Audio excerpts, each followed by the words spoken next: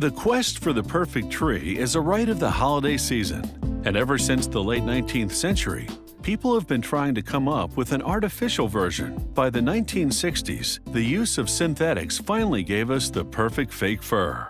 Today's faux firs can be several stories tall. These big artificial trees start with a steel skeleton. Rollers bend steel tubing into arcs. They'll be joined to form the base of the framework. Workers weld vertical supports to the arcs, building the structure in sections. A spray of polyester powder gives the welded metal a smooth finish that's actually tougher than paint. They bake the parts to set the coating. It's time to assemble all the pieces. Meanwhile, a roll of green PVC plastic winds its way towards a roller equipped with many circular cutters. They slice it into 4-inch wide strip. Each of the narrow plastic strips then goes under a roller with even more blades. They shred it into a needle-like configuration, leaving a solid spine at the center to hold the simulated needles together.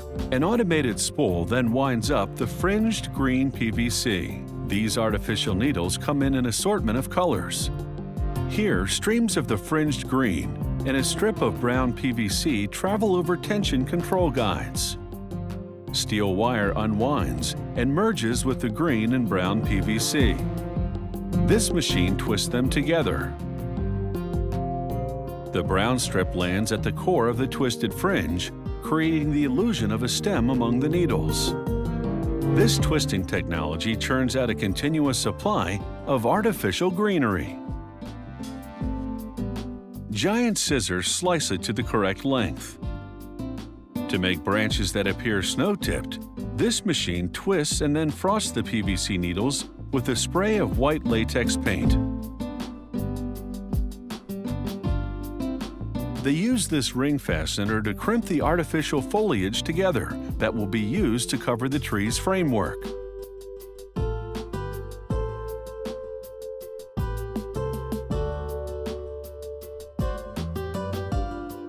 They string the lights and then plug them in to check each ball. They also wire the ornaments to the branches. It's one less job for the customer to do.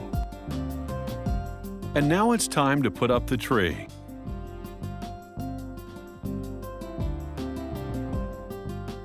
It has taken just one day for this artificial tree to come together, where growing a real one this size would take many years.